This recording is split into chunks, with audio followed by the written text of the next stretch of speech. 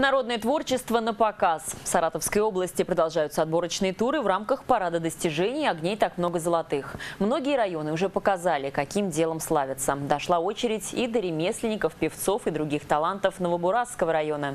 С творчеством его жителей познакомилась Полина Попенец. Настроились, взяли тон.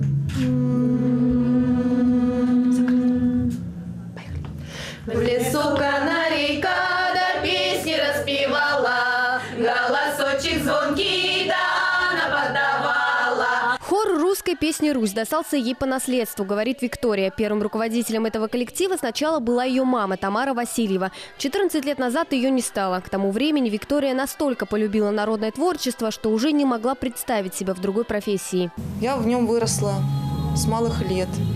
Практически я пою в этом ну, в Доме культуры. Сначала детский фольклорный ансамбль «Веретенцы» был, потом постепенно я перешла во взрослый коллектив.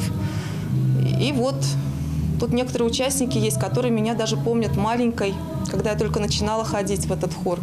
В этом году коллективу из рабочего поселка Новые Бурасы исполнится 40 лет. За это время участники хора завоевали множество наград самых престижных всероссийских конкурсов. А в 2014 году стали лауреатами в первом параде достижений. И когда узнали о продолжении конкурса, сразу стали готовиться. Да, мы знали, что будет этот день. И мы к нему шли, долго шли. Виктория, может, поскромничала. Мы очень хорошо готовились к нему. От этого конкурса что мы ждем? Ну, не буду кривить душой. Конечно, хотим победы. Это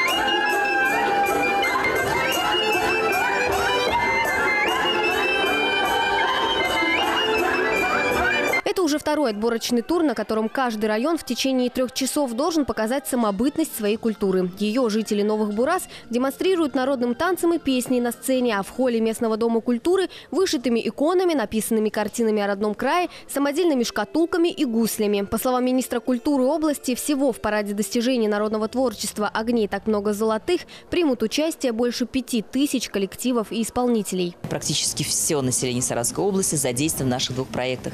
И сегодня мы свидетелями становимся второго парада достижений именно в Новом Бурасском районе.